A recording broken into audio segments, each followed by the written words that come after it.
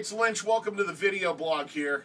I've asked LT to join me today. She doesn't know why though. I don't. I'm a little worried. What's going on? No, no, no, no need to worry. I just have a question. What is it? Did you see the the Playboy top ten party school list came I out? did. I did indeed. All right, you went to UCF. I did. I went to UCF. Yep. What's with number nine? I'm asking you because you're a more recent graduate than I am.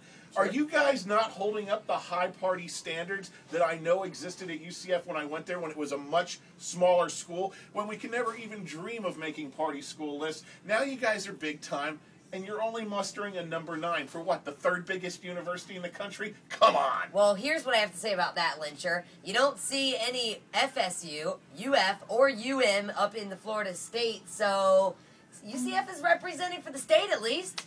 I'm thinking that this whole party school list is nothing but a rotating deal when it comes to the so? Florida schools. Could be. Because last year, both uh, Rollins College Oh, and, right, and University of Miami were like in the top five. Right. And then the year before that, UF and FSU were in Right. it. So, is this a big to do to just get us to talk about the Playboy party school list and Playboy Probably. hoping they can maybe sell a magazine or two? Could be. Who knows? I You mean, guys are can- still partying hard out there, right? Oh yeah, they Okay. they better be. I mean, hell, it's a lot better and more party in school than it was when I even went there and graduated in uh, 04.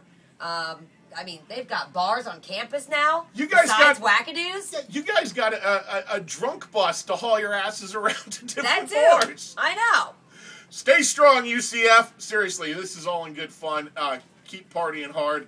We appreciate you giving us alumni a good name. That's right. All right. Go Knights. All right. And come to Earth Day birthday. That too. Right. See you on the air at 3 o'clock today.